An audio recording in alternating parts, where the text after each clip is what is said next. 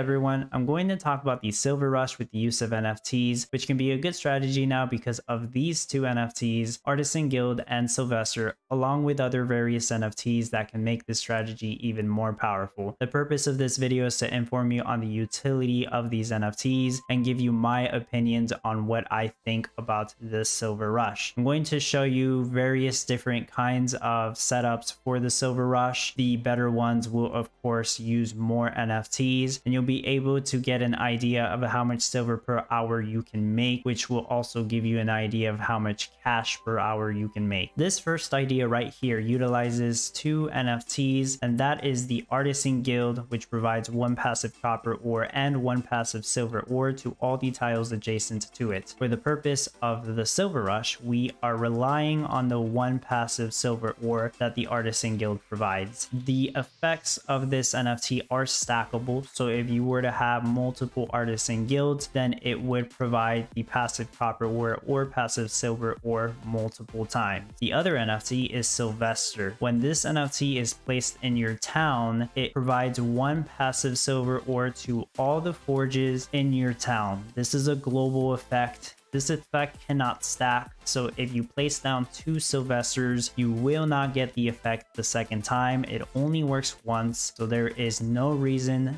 to use more than one Sylvester. The Sylvester building also comes with a panner Sylvester himself and he can go to the silver panning sites and pick up silver ore and take them to the ore storage just like a regular panner. For the sake of this silver rush, we do not need to have silver panning sites because we are getting one passive silver ore from Sylvester and one passive silver ore from the Artisan Guild for these eight forges. So there is no need to have silver panning sites or ore storage. The forges only need wood in order to craft silver. So this is our first design right here. And like I said, we only need wood and we need a lot of it in order to make as much silver as possible. So this design features many trees over here. We have five loggers to pick up all the wood and this supplies just barely more than enough wood uh, than what we need. This setup is making 1,730 silver per hour, which would net you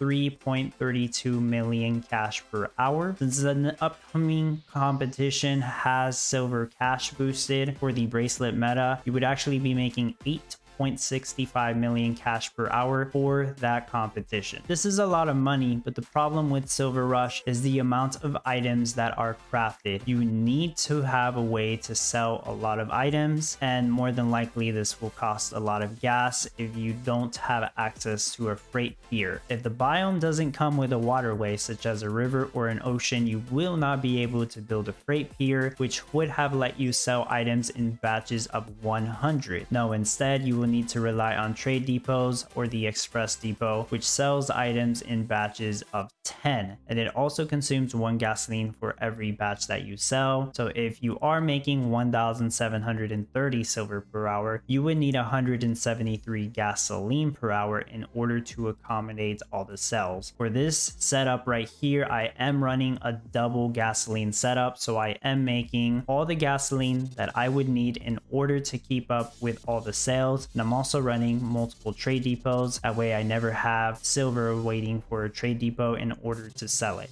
Before I move on to the next setup, if you are interested in purchasing the Artisan Guild, you can use the link in the description of the video to go to the Gala Games website and purchase it from the Gala Games store. Using my link will help support the channel, so I appreciate that a lot. This is the second design, and I know it looks just like the first design, but there are two additions. The first edition is a full set of Mirandus skin NFTs. If you have one NFT from each of the Mirandus skin packs, so it's a total of 10 different NFTs, then you get the total benefit of a 10% faster craft time bonus and a 25% movement speed bonus to everything. So that includes silver and the forge workers and the loggers, the tree farms, everything. So that is a huge benefit in any situation. And the second addition is the silver crafty knowledge blueprint. In this case, I am using the legendary version of it, and this provides a 16% craft time reduction to silver and other silver related crafts. Depending on the rarity, it will provide a different percentage. But if you have the full set of Mirandus skins and that blueprint active, the craft time for silver in the forge should be either 8 seconds or 7 seconds, depending on the rarity of the blueprint. In this case, silver is crafted in 7 seconds, so it is much faster. So this test is giving me about 2,120 silver per hour is what I noted down. That's about 4.07 million cash per hour, or for the upcoming competitions and silver is cash boosted, that would be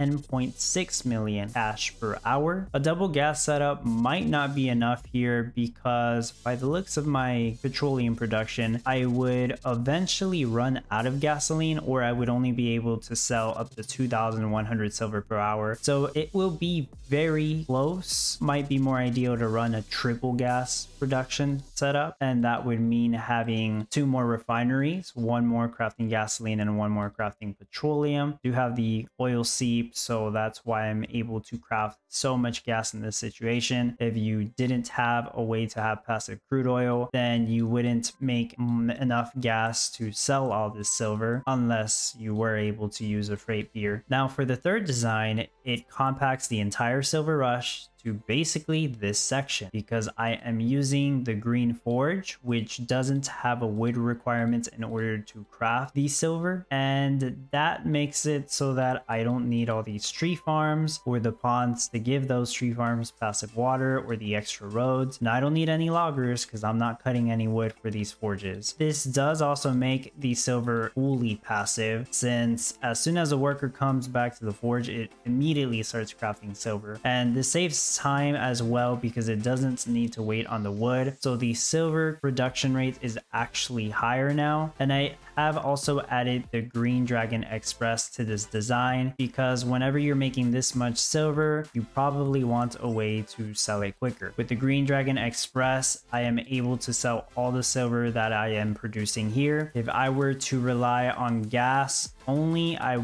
I think I would need a quad gas setup. So basically this done twice over here. So I'd have four refineries making petroleum, four refineries making gasoline, and maybe extra trade depots just to sell all of the silver that I'm making. Alternatively, like I mentioned, if this had a waterway, I could just use a freight pier and I could still sell all of the silver with probably one standard gasoline setup and one freight pier. Also, the green forges do not cast any negative proximity effects, whereas the regular forges cast to dirty. And the Green Dragon Express will allow you to sell items in a batch of 25 at a time instead of 10 at a time, and it does not consume gasoline whenever you trade. And the trade time is actually half of the standard amount. So for this scenario and the upcoming competition, the trade time is 40 seconds with a trade depot. So the Green Dragon Express only takes 20 seconds to complete a trade. In order to get and use the Green Dragon Express, you need to have all 10 different Mirandus vouchers. And if you have them in your inventory, then you will be able to utilize the Green Dragon Express. The Green Dragon Express needs to be placed either on an open world edge like this or on a waterway. It cannot be placed next to a mountain as of recording this video. If you compare it to the first design, then this requires much less space and it is much easier to actually set up because when you think about it, all of this can be NFTs. Now for the paved roads, I'm actually using NFTs, but it doesn't matter. Regular paved roads will do the same. The green forges are NFTs. Artisan Guild and Sylvester, we already said those were NFTs. In this case, the warehouses are not NFTs, but there are also NFT warehouses that I could have used that basically would have made this entire setup doable with only NFTs. And if you were to only use the Green Dragon Express to sell everything, you can have this entire setup ready in a minute. This setup is making about 2,570 silver per hour. That is 4.94 million cash per hour, or for the next competitions and silver is cash boosted, that's 12.85 million cash per hour. Now this setup is not cheap by any means since it requires a lot of NFTs to pull off, but as you can see, it's very powerful. Now, if you think this is as powerful as it gets, you're wrong. You can actually make this more powerful with even more NFTs, and we'll try that out in this next design. This is the fourth and final design for the Silver Rush with all the applicable NFTs that I have to make this as powerful as it can be. So this has added three more NFTs or three different kinds of NFTs. The first kind is the Arcane Earrings, which there are two rarities. There's the rare one and then there's the epic one. So the rare Arcane Earrings adds a 2.5% craft time reduction to all the crafts made in the forge. It might not be noticeable for silver if you're only using one, but if you're using many of the epic ones especially, then you will notice a difference. But the rare one also adds a 10% increased movement speed to all of the workers in the forge. So the epic one does the same, but it has uh, higher numbers. So it adds a 10% craft time reduction to all the crafts in the forge and a 50% faster movement speed. So these earrings, these arcane earrings do stack up to four times. They are part of what's known as the arcane artifacts set of NFTs. So the Arcane Artifacts set of NFTs stack up to four of them. It can be the same ones like the earrings. It can be different ones like the earrings and the ring, which is not used in this example since you don't need it. For this example right here, I am using three of the epic arcane earrings and one of the rare arcane earrings since that's what I have. I am also using this second NFT over here. It's called the Corrupted Luxury Open Pack. When this NFT is applied, it grants a 1% craft time reduction to everything in the town. You can apply up to 10 of these for a maximum of a 10% boost. This is similar to what the Mirandus skins do. Uh, if you have a full set of 10, it provides a 10% craft time reduction. It doesn't apply a movement speed though, just the craft time reduction for the corrupted packs, but they do stack with the Mirandus skins. So if you have the corrupted packs applied as well as several of these earrings applied, it further reduces the craft time of silver. So my silver craft time in this example is now four seconds. I've also added both of the warehouse NFTs here to increase the storage capacity of this design because it gets to the point where the if you're using a regular warehouse with only 20 capacity the warehouse will get full and it will actually slow down the silver production since the forge worker has to go to the other warehouse to deposit the silver. So i believe this way with the increased warehouse capacity it is faster. So that is the third nft that i have added. Uh, there are two different versions of the warehouse nft first is the big warehouse which normally has a capacity of 60 uh, it stores every everything that a normal warehouse would store. And then there's the diamond warehouse, which has a capacity of 40 and it doubles the capacity of all the other normal warehouses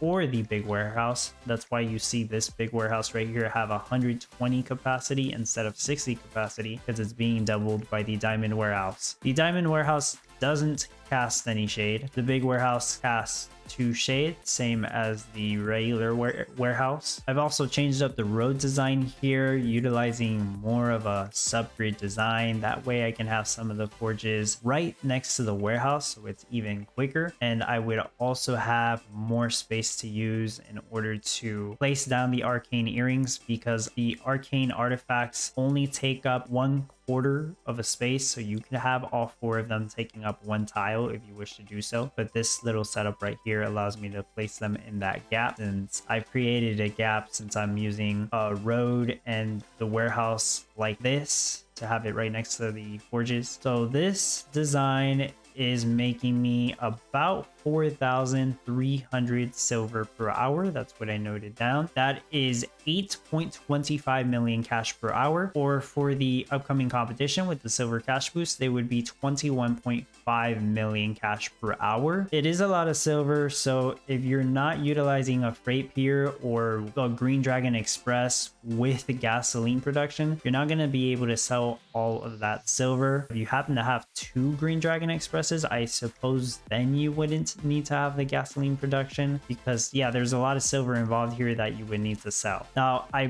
believe this is about as powerful as this silver rush gets. It can be scaled up though. If you happen to have another eight green forges and another artisan guild. You could basically copy this do the same thing right next to it and that would essentially double your silver production. You could get numbers as high as 8000 silver production if you were to do that. Like you could even do the same thing over here if you happen to have another eight green forges and another artisan guild and bring it up to 12000 silver production per hour. So long as you're able to sell all of it at that point you would probably need a couple freight piers gasoline production. I don't think somebody would have enough dragons to sell that much silver. But yeah these are crazy numbers. You can get so much cash doing this. It is literally all NFTs to set this up if you don't have to deal with gas production. And even then, there are ways to make the gas production setup almost entirety entirely with NFTs, with the exception of the fuel storage as of right now. This is one of the most powerful cash rushes in the game now that I've tested this. It is one of the most easy ones to set up as well, but it requires, of course, a lot of NFTs. I would compare this rush strategy